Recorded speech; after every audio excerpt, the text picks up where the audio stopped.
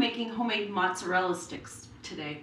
It's very easy to make. Um, I had a block of mozzarella cheese, not the fresh that's kind of soft and gooey that you slice with tomatoes. This is the block of mozzarella cheese and I sliced it into sticks that look like the same size as mozzarella sticks, so that's simple enough. They're all sliced. What I'm going to do is combine breadcrumbs. I have one and a half cups of breadcrumbs. And I have one and a third cups of Parmesan cheese that's finely grated. I'm gonna add a little salt, one teaspoon salt. And I'm gonna mix this up. So this is a coating for your breadcrumbs. The thing with this recipe is the breadcrumb, the mozzarella sticks have to go in the freezer for two hours for the coating to adhere to them really good before you do the frying, the deep frying. So you need to plan ahead a little bit for that amount of time.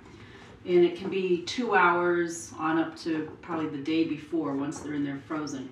So you could actually make a whole huge batch of these and have them in the freezer and take them out when you want to make just a few for an appetizer. So that's our coating mixture. And I have three eggs. It's going to be a total of four eggs beaten.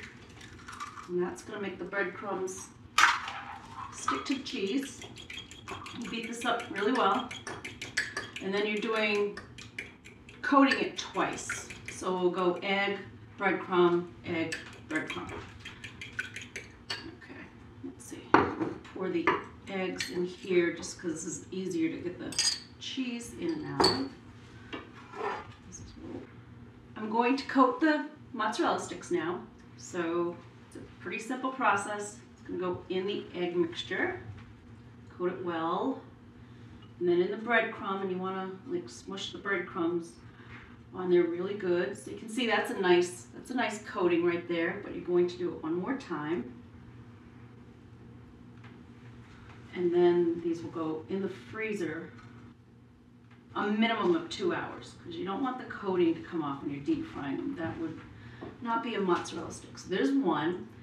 And I always keep one hand clean in case I need to reach for something extra. If I need to add a little more breadcrumb for whatever reason, or cheese. So I kind of just have one messy hand and one clean hand.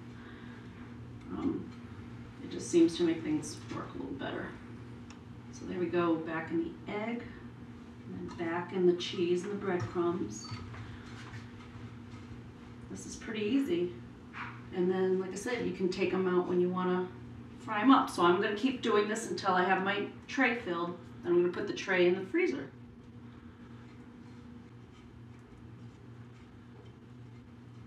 Make sure you get those ends too. The whole idea is not to have the cheese ooze out. Okay, last one, all done. Now I'm going to put them into the freezer for a minimum of two hours. Lee showed me a good way to test if my oil's hot enough to fry off the mozzarella sticks. You take a piece of bread, any kind of bread, drop it in, and you can see it's bubbling up, and you can see how fast that it browns up and crisps up. And then you'll know how your food's gonna cook. So it's a really good tip. Um, I've heard of other people sticking a wooden spoon in, and if it bubbles up around the handle of the wooden spoon, but I kind of like this one because I can see how this bread is toasting up and it's cooking up very, very quickly. So I think my hot oil is ready for the mozzarella sticks. So I'm going to put them in. They've been in the freezer for over two hours.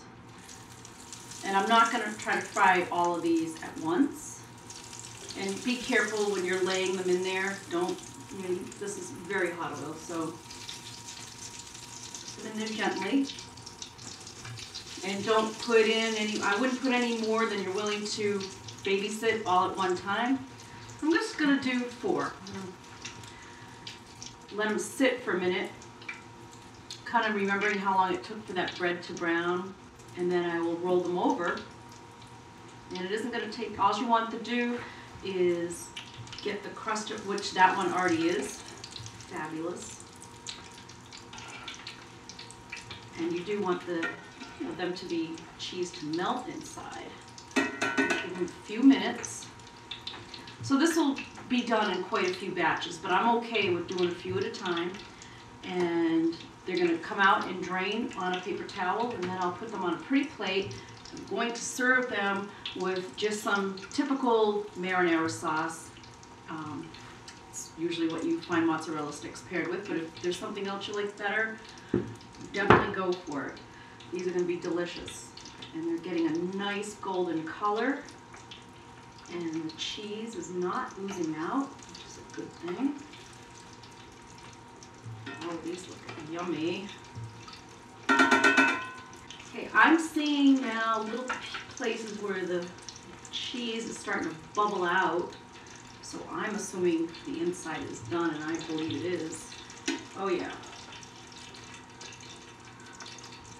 So depending on your oil, this is where you want to get them out of the fryer, out of your frying pan. I don't have a lot of oil in here. It's probably only about that deep.